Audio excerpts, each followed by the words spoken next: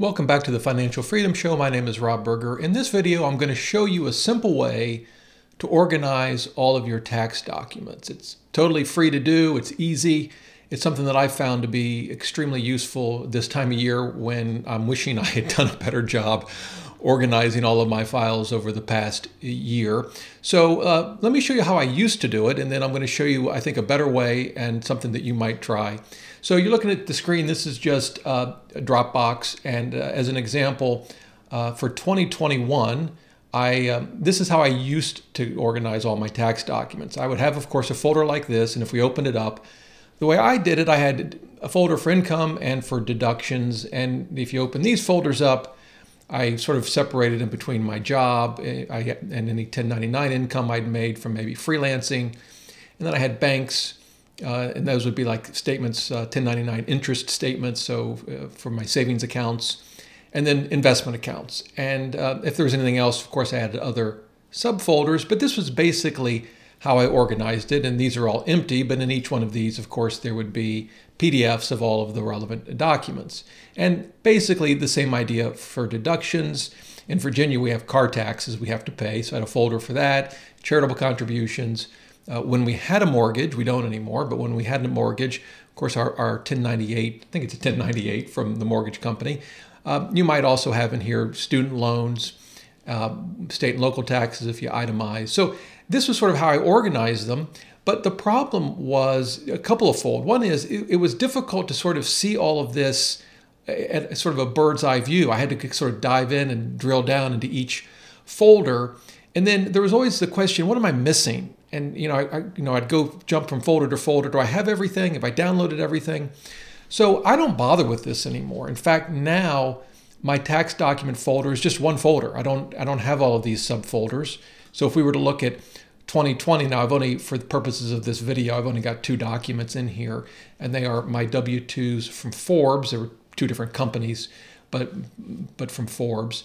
And um, but of course, uh, for my actual 2020 tax document folder, I have everything in here from the banks, from investments, uh, all the documents related to our deductions, and it just I just dump it into one folder, which actually seems like I'm going backward, right? This is worse than than the way I used to do it. But then here's what I do. I create a document like what you see here, uh, and this is just a Google Doc. And in fact, I'll make this available. You can uh, create a copy of this if you'd like. It's a very simple document, though. It's easy to create from scratch. But um, I'll leave a link in the description below, and if you just click File, make a copy, you can make a copy of it. You won't be able to edit this, uh, but you can make a copy and then edit it if you want. But what I did was I laid out all of our income and deductions and any other uh, events relevant to our taxes. And these, of course, are just high, uh, uh, examples. But uh, and then what I did was, from an organizational perspective, you'll see that I've, there's this table of contents here. So if the document gets long, as it will for some folks that have more complicated taxes, you can easily jump from one part of the document to the other. And the way I do that is for each of these, like for income, if I highlight it, we come over here, you can see I gave it a heading two. Um, and then uh, within each type of income, this would be a heading three. And that's what creates these uh, this table of contents over here. And so what I've done is uh, just laid out all of the different uh, documents that I'll need for our income, from our deductions, and any other special situations, like, for example, the purchase and sale of real estate. And what you'll find is after you go through this once, you'll have everything laid out. You'll have, for example, you know, all of your jobs. If, if you're married, your spouse's job, uh, all everywhere where you bank and you're expecting an interest statement. You'll have all of your investments and likewise all of your different deductions. And once you've done it through the first year, you have it there. And so for the next year, you can simply copy it over. Yeah, there might be some changes from year to year, but by and large, uh, it, at least for us, it stays more or less the same. But here's the what where I find it to be extremely helpful is I then link uh, each of these to the file in Dropbox. So for example, pulling up Dropbox again, uh, we'll take a Forbes Media. I can uh, right click on this and get copy Dropbox link. And then here, I'll just change this for a moment. Let's say this were Forbes Media LLC.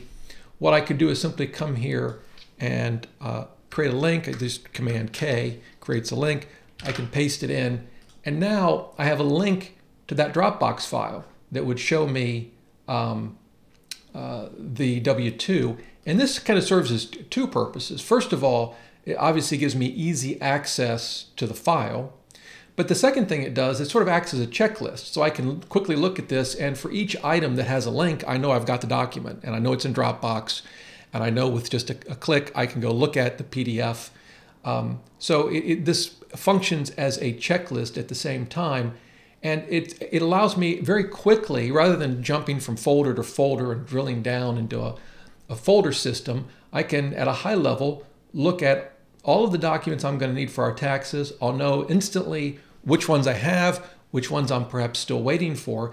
The other thing this allows me to do is throughout the year, uh, save files that I know I'll need. So a lot of the documents you get at the end of the year, like your, your W-2s and so forth, but there are some things you get throughout the year. For example, charitable contributions. So if, if we uh, get a receipt for some charitable contribution that we made, I can put it in the Dropbox file for that tax year and then immediately link it here is in this example. And so I have it. I'm not sort of hunting around for all of this at tax time. The same would be really useful if you are in a situation where you can deduct medical expenses, because in that case, you could have a lot of paperwork to, to, to maintain and keep track of. And waiting to the end of the year just creates all kinds of stress, anxiety. Did you get everything? Did you did you lose something? But if you get it scanned and into Dropbox and then linked to your tax organize, organizer document, you have it all in one place. And the last thing is you can even share this with your tax preparer if you want to. It's very easy to share a Google Doc. Now, they may have their own sort of proprietary portal where they want you to upload documents. That may be. But um, if not, you could just share this document once it's done and linked to, and they could have easy access uh, to all of your relevant tax documents. So that's it. Very simple, uh, but I found this to be a great way to maintain my tax documents that come in throughout the year, and then to pull together all of the tax documents that come in in, in January of every year. Uh, it serves as a checklist. I have links to, the, to each document in Dropbox so I can access them very easily. If I'm going to do my own taxes, I'm ready to go. Here they are. I've got everything. If I'm going to get some help, I can share this with the tax preparer and they have everything they need. Again, I'll leave a link to this document if you want to use it. Again, very simple to create from scratch, but you're welcome to make a copy of it and use it for yourself if that is helpful to you. If you have any questions, leave them in the comments below. Be happy to help you out any way I can. And until next time, remember the best thing money can buy is financial freedom.